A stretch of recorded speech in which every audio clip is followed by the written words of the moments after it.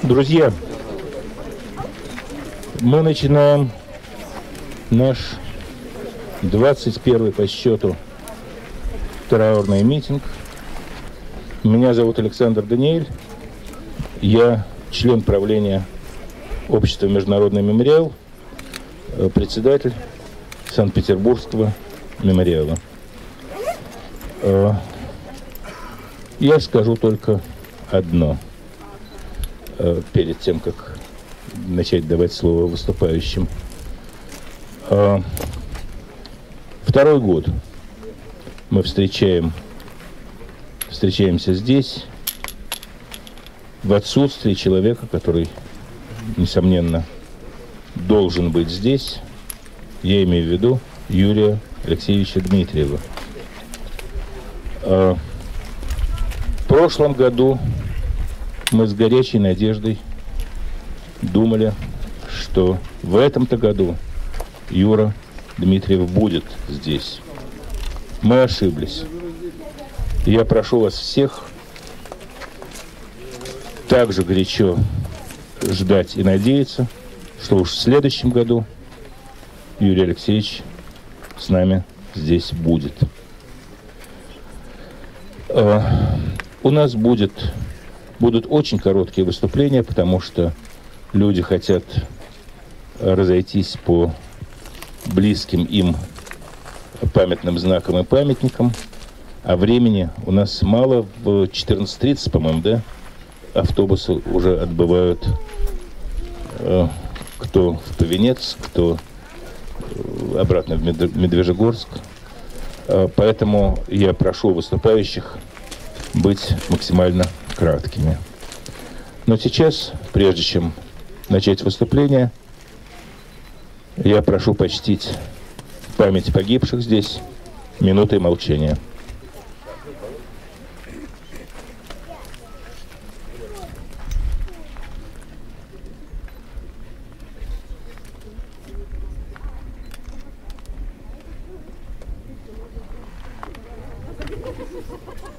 Спасибо. Слово предоставляется Ирине Флиге, член управления Международного мемориала, директору научно-информационного центра э, «Мемориал» в Санкт-Петербурге. Спасибо. 5 августа, Сандармох. Эти слова сегодня стали известны везде. В России, в Европе, во всем мире. Это а, место памяти и мне хотелось сегодня сказать, о чем это место памяти. Это место памяти и дань уважения людям, казненным, убитым и захороненным здесь. Это место памяти о государственном терроре, о преступлениях, совершаемых здесь и везде э, в Советском Союзе. Это место солидарности. Солидарности с людьми, которые сегодня являются политзаключенными. Это солидарность с людьми, которых пытают и мучают сегодня в тюрьмах и лагерях. Это место солидарности нас, это место международной солидарности. Сегодня нет в России исторической памяти. Сегодня в России есть наследование прошлого. И это наследование прошлого разделено не поровну. Сегодняшняя российская власть унаследовала преступления советского режима. Сев... Сегодня... Сегодняшняя власть продолжила, а, продолжила ту Ну так а вы ответите здесь. Замечательно. Давайте не будем вступать в дискуссию. Продолжайте.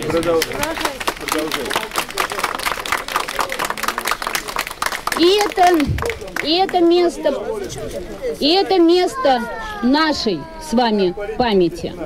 Это место нашей с вами солидарности. В 2014 году, когда первый раз сюда не приехала украинская делегация, мы выразили поддержку и солидарность с теми, кто сюда ездил до этого 16 лет и помнил своих соотечественников, своих героев. Сегодня мы все сюда приехали отдать дань уважения людям, погибшим, расстрелянным, убитым и замученным здесь. Почему Сандармох стал таким местом? Потому что а, безвинные, безымянные жертвы не противоречат а, режиму а, террора. Потому что они безмолвны и потому что их как бы нет, это массовые жертвы. Но когда эти жертвы э, находят имена и могилы, а здесь лежат не жертвы, здесь лежат люди, которых мы все знаем поименно, они перестают быть, быть жертвами, они становятся героями. Спасибо. Спасибо, Ирина Анатольевна. Э, слово предоставляется Анатолию Разумову, руководителю э, фонда возвращенные имена, Центра возвращенные имена при Российской национальной библиотеке, город Санкт-Петербург.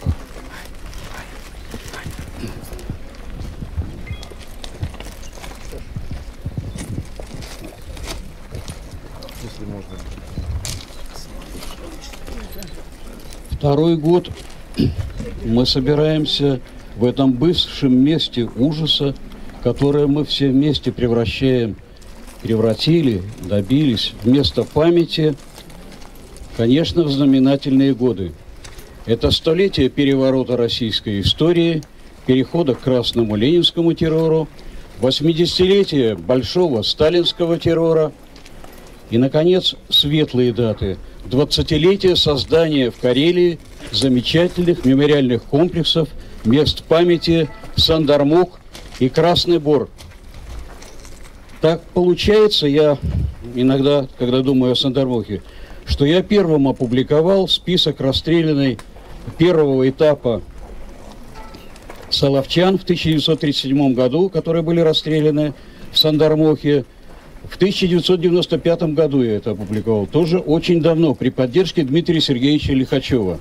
Мы тогда еще не знали, где расстреляны эти люди. Еще не был найден Сандармох. А через год нашли нашли замечательное место. И сегодня я свидетельствую, как исследователь ГУЛАГа, создатель э, составитель книг памяти, как исследователь подобных мест, в том числе Бутовский полигон, Секирная гора на Соловках, нашли именно то место, где расстреливали, э, где, где, где в актах писали, что расстрелян в Медвежьегорске. Это документировано с документами архивов госбезопасности Карелии,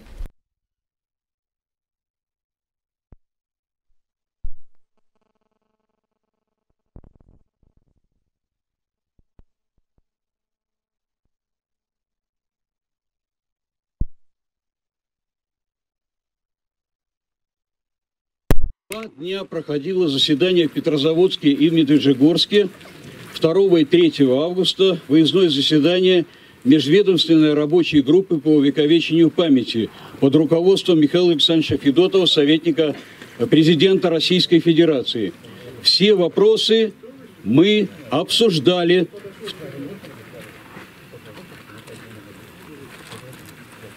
в том числе вопросы благоустройства Сандармоха. Из хорошего – в конце второго заседания нам было объявлено, что в бюджет Карелии будущего года будут заложены финансовые средства на восстановление барельефа, который уже 12 лет тому назад как обрушился на камне у входа.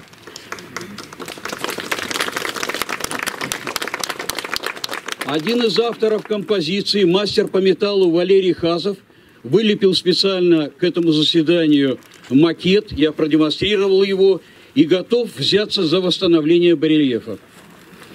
Второе.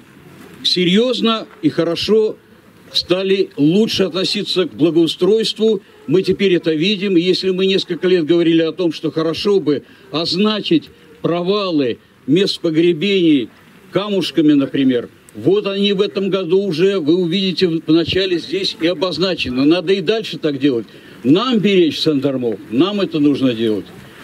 Вот. И э, из второго плохого, кроме того, что второй раз арестован Юрий Дмитриев, нельзя не сказать, что на фоне того, что мы знаем, документов КГБ, прокуратуры, которые были восприняты в 1997 году.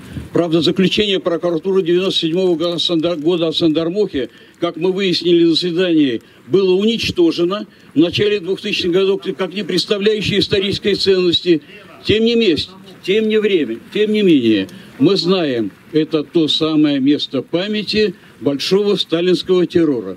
Однако есть люди, которые не стесняются заявить другое, не имея никаких оснований, ни, это нельзя назвать никакой гипотезой. 25 августа они сюда придут. Исследовать это место на предмет э, выявления каких-то ям, э, дополнительных, геосъемки. И мысль их такая – а, а вот тут это началось весной 16 года. А вот есть некоторые сомнения. А вот, может быть, финны во время значит, э, оккупации этих мест знали об этом месте, и тут наших красноармейцев мучили. Это постыдно.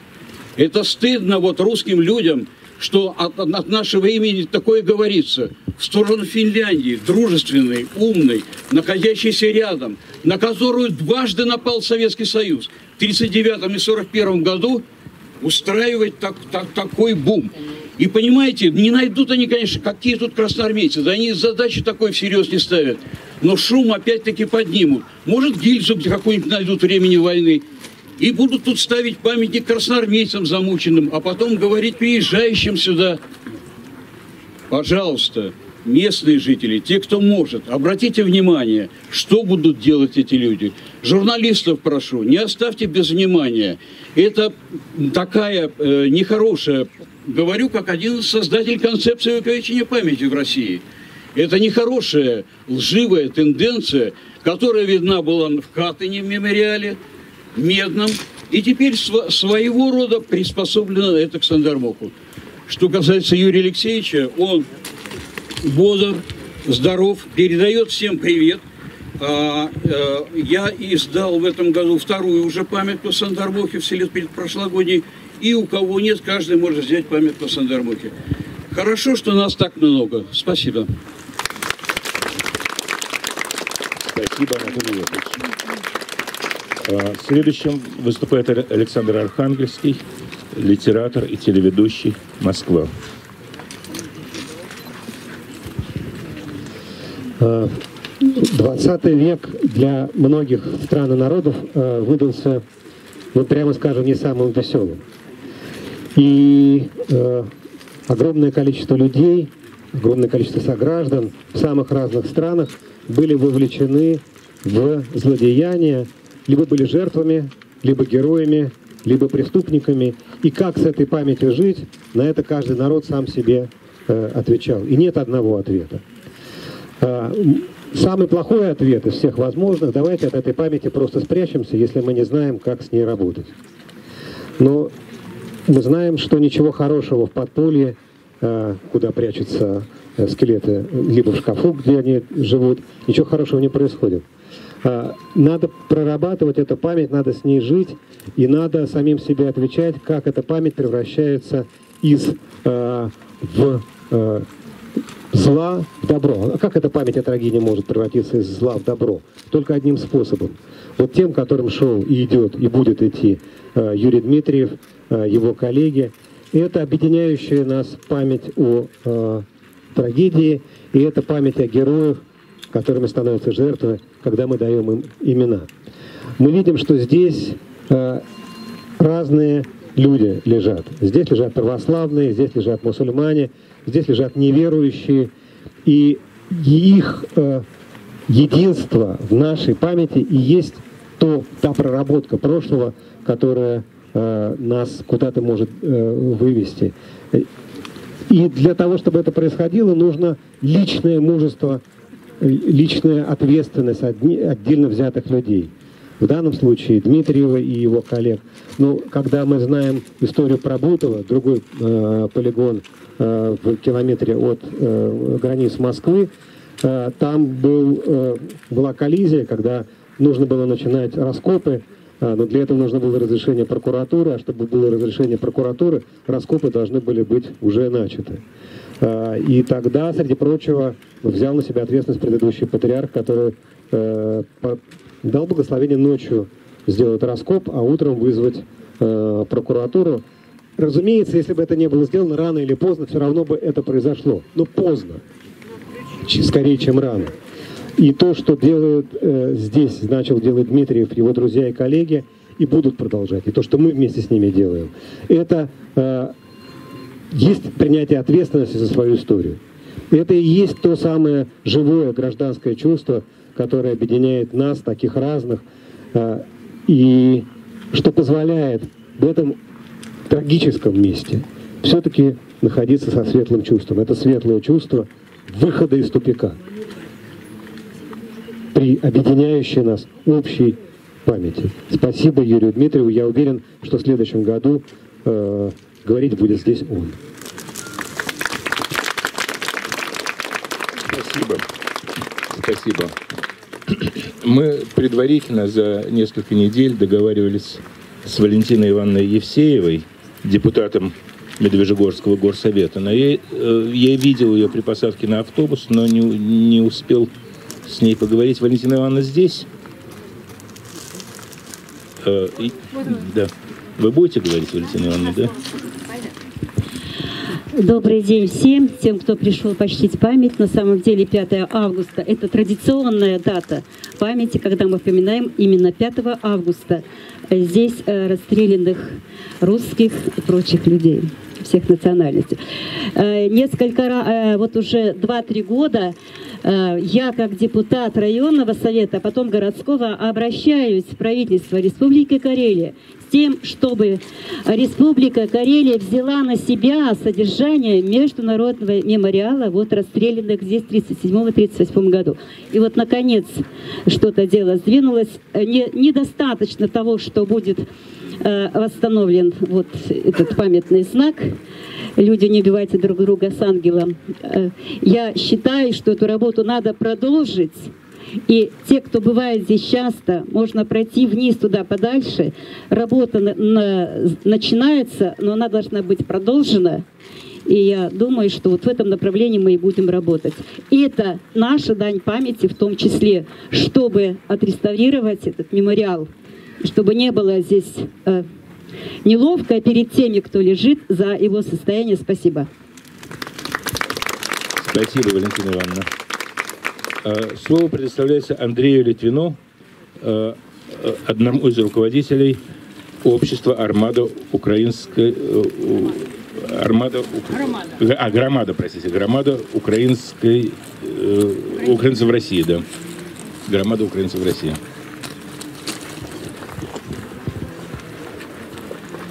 Люди не все, но многие занимают активную гражданскую позицию и я вас приветствую. Но даже те, пожалуй, большинство, кто не, не имеет таких сил, возможностей, может быть, это не значит, что их можно мучить, можно убивать.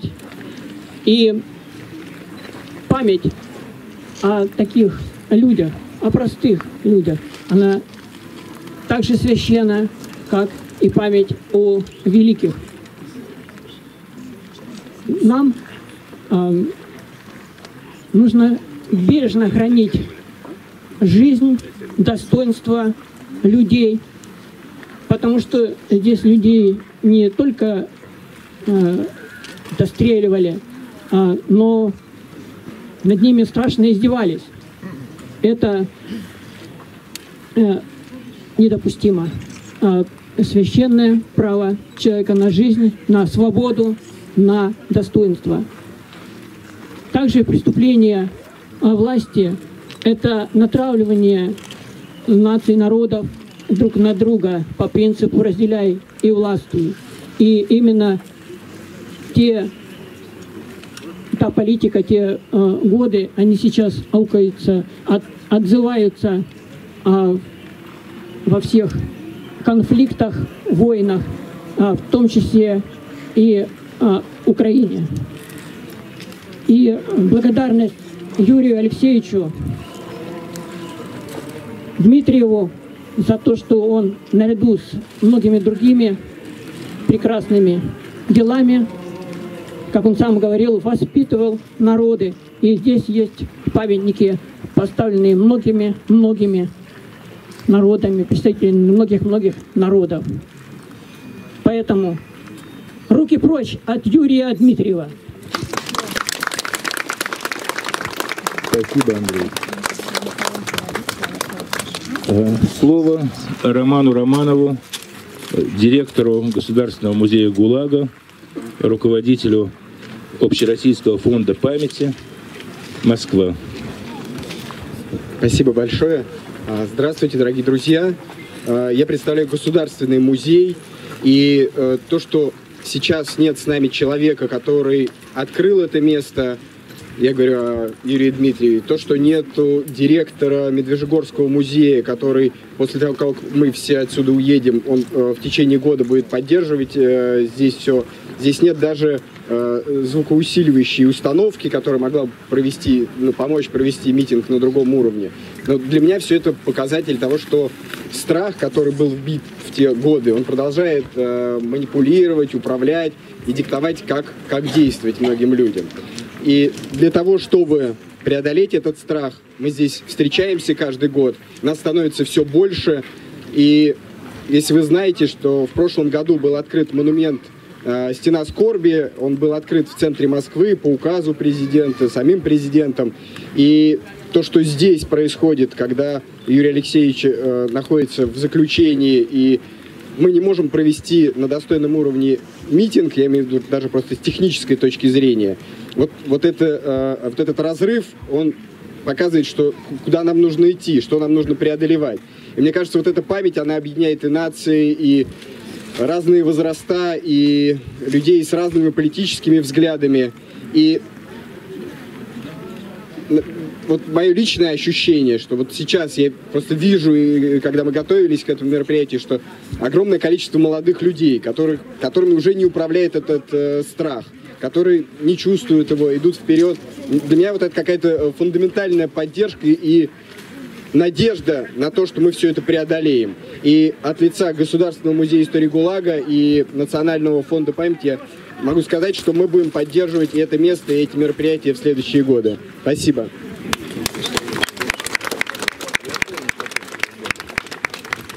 А, Слово предоставляется товарищу атамана Отдельского э, казачьего общества Республики Карелия Исаулу Александру Яковлеву. Где у нас?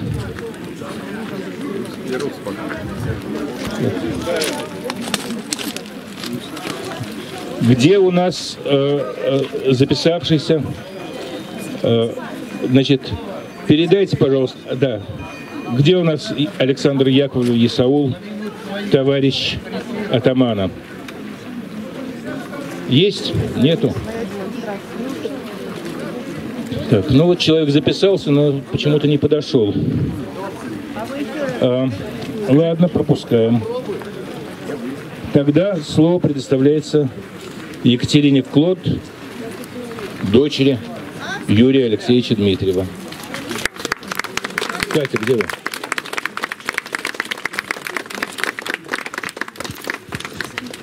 Здравствуйте. А, В очередной раз, в очередной, уже второй год мне приходится здесь стоять вместо папы. А, К моему огромному, наверное, сожалению, да. И как и в прошлом году, я очень хорошо представляю, что папа чувствует сейчас, потому что эти два дня, четвертое, па- пятое, это Красный Бор, это Сандермох, это его детище, которое он любит. И, конечно же, он переживает, как здесь все проходит. Вот. Я надеюсь, что следующий год он все-таки будет здесь с нами, да, и мне не придется выступать за него. А, я очень рада всех здесь видеть. Я очень рада видеть такое огромное количество молодежи, да, было уже сказано. Меня это безумно радует.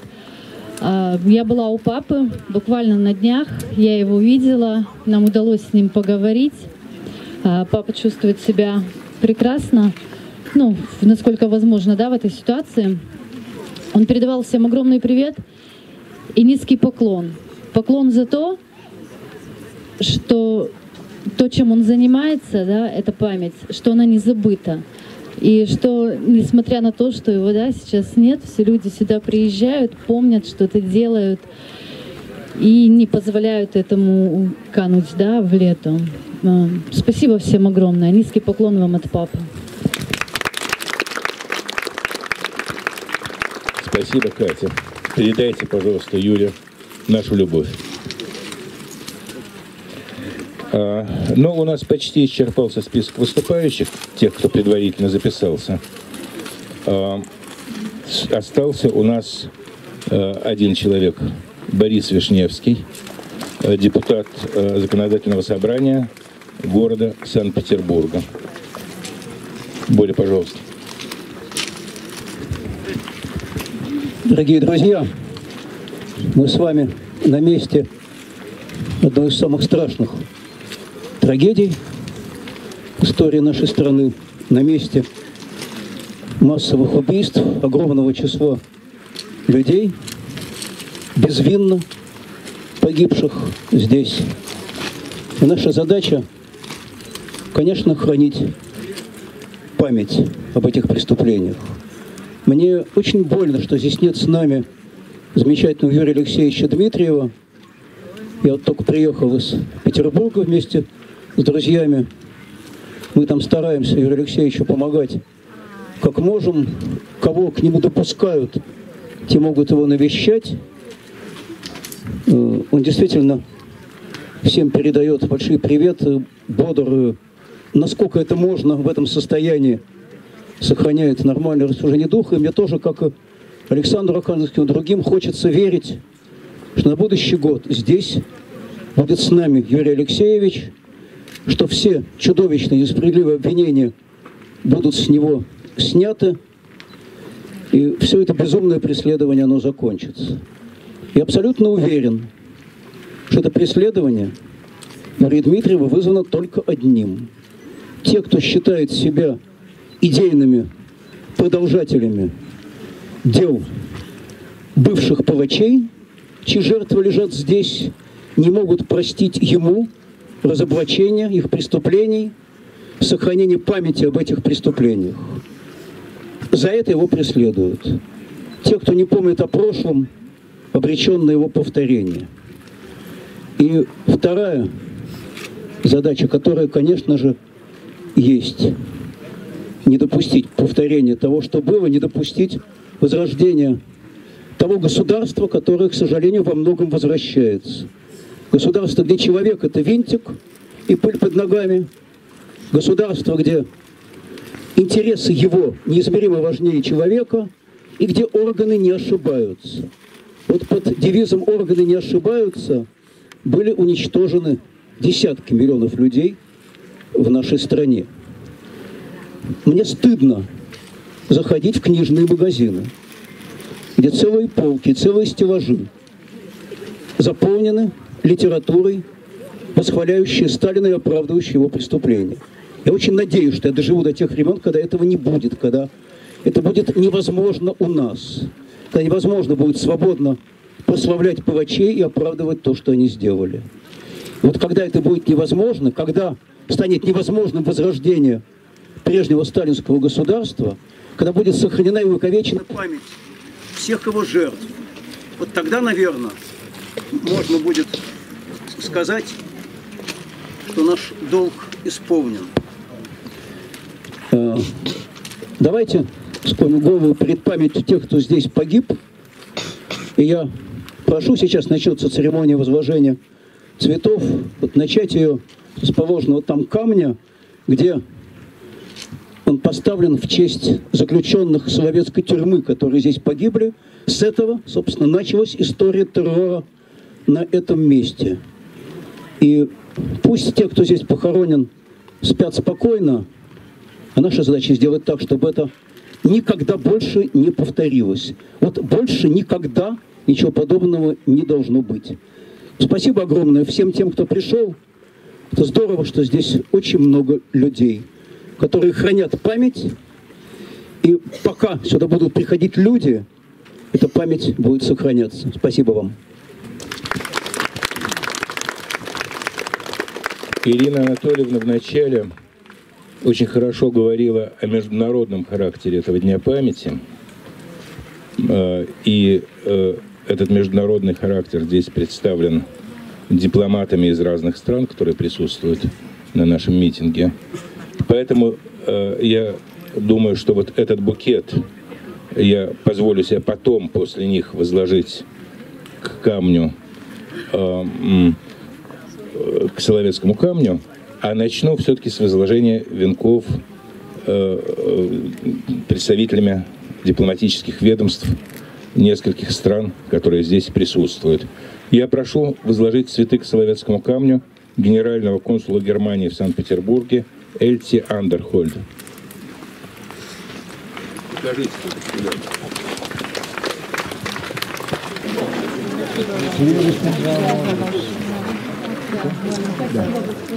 Следующим возлагает цветы генеральный консул Республики Польша в Санкт-Петербурге Андрей Хаткевич. Уже положили.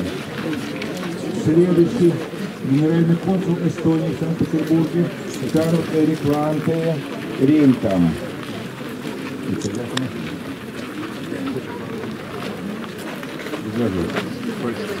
Следующим возлагает цветы генеральный консул Украины в Санкт-Петербурге Леся Ладинская. Следующий сотрудник посольства США в России Томас Ливер.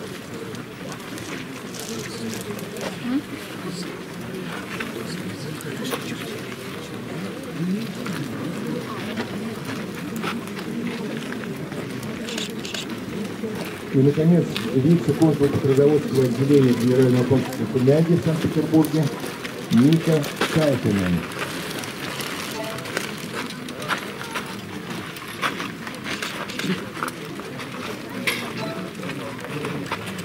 Большое спасибо. Теперь я позволю себе от вашего имени возложить вот этот букет цветов от имени всего нашего митинга.